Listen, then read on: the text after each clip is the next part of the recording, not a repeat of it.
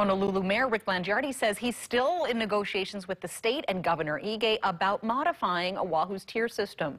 According to the mayor, both parties have some opposition to the proposal he submitted last week. And he says Oahu might now have to wait until 60% of the whole state's population is fully vaccinated before restrictions can be eased. I was told yesterday that the uh, modification to the tier with respect to 50 of percent of our people was actually being moved back to 60. But I think at the 60% level, hopefully, we'll see some significant modifications, including travel as well. But we're almost there.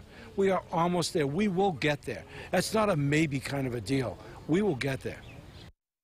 Mayor Blangiardi says he's hoping to meet with the governor and health department this Friday.